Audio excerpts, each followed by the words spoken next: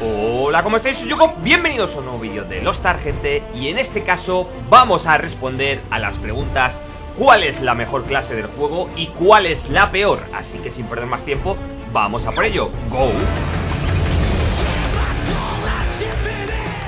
Bueno gente, la verdad es que últimamente se está convirtiendo en algo bastante habitual que todos los días se pase por los directos eh, bastante, bastante gente con esta duda preguntando sobre cuál es la mejor clase, cuál es la mejor clase del juego, qué tal me va a funcionar este personaje, qué tal me va a funcionar el otro, voy a poder hacer contenido PvE, voy a poder hacer contenido PvP, así que voy a tratar de resolver ya esta duda de la forma más clara y concisa, a ver si podemos arrojar algo de luz a la gente que todavía a menos de una semana de que salga el juego, no lo tiene nada claro. Evidentemente tenemos que tener en cuenta tanto el contenido PvE como el contenido PvP, pero dentro de PvP hay que tener en cuenta el contenido donde sí que va a afectar nuestro equipo, como el contenido PvP equilibrado, ¿vale? Y dentro del cual también encontramos el competitivo de sistema de clasificatorias. Así que teniendo en cuenta todo el contenido que vamos a tener desde el día de lanzamiento, gente, sin ninguna duda, la mejor clase disponible en el juego sería el paladín.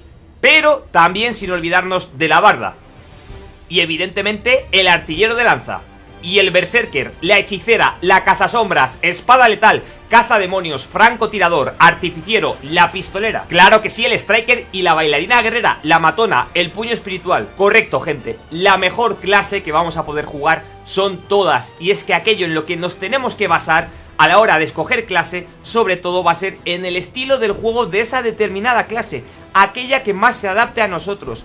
¿Por qué? Porque las clases, los personajes, acabarán siendo buenos o malos en función de cómo los tengamos buildeados, ¿vale? De cómo los tengamos construidos. Depende de los puntos de stats que tengamos, depende de los grabados que tengamos, depende de la habilidad de jugador que tengamos y evidentemente del conocimiento que vayamos adquiriendo de las diferentes mecánicas de los bosses que vayamos completando, toda esta suma de cosas será la que haga que nuestro personaje sea bueno o no. Incluso si nos centramos en el contenido de PvP equilibrado, gente, ¿vale? Dejando de lado las partidas normales, sino metiéndonos ya en el contenido de PvP más competitivo, el sistema de clasificatorias o incluso torneos y competiciones que vayan saliendo a lo largo de los meses, ¿vale? Una vez que haya sido lanzado el juego. Sí que es cierto que dependiendo de cómo esté el meta en ese momento, siempre va a haber clases que tengan un mejor desempeño que otras. Hay que tener en cuenta que el meta está en constante cambio, se están recibiendo parches de balance y equilibrio constantemente, ¿vale? Enfocados también al PvP y no debemos de basar tanto la elección de nuestro personaje en base a aquello que está más fuerte en ese momento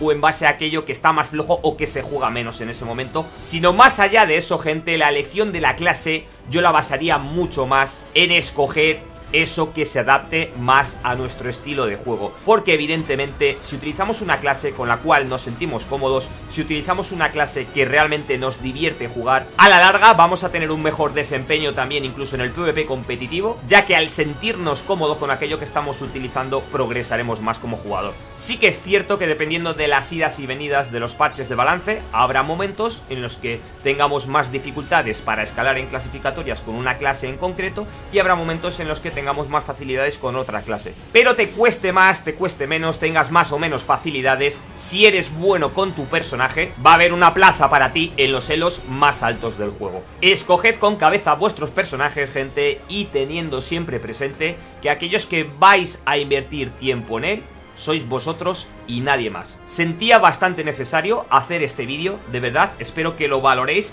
Espero que sirva para responder un poco esa duda que vemos día tras día constantemente en directo y que siento que todavía mucha gente tiene. Si os ha gustado o os ha sido de utilidad, no olvidéis dejar como siempre vuestro like, suscribiros al canal para no perderos nada relacionado con los Star, cualquier cosa que queréis añadir ya sabéis que tenéis aquí abajo la sección de comentarios y además os podéis pasar por mi Twitter, arroba con 3 y así como mi Twitch, donde estamos todos los días streameando este pedazo de juego en la mejor de las compañías. Así que ahora que espero que tengas más claro qué personaje vas a jugar, me despido, pero tan solo hasta la próxima. Adiós.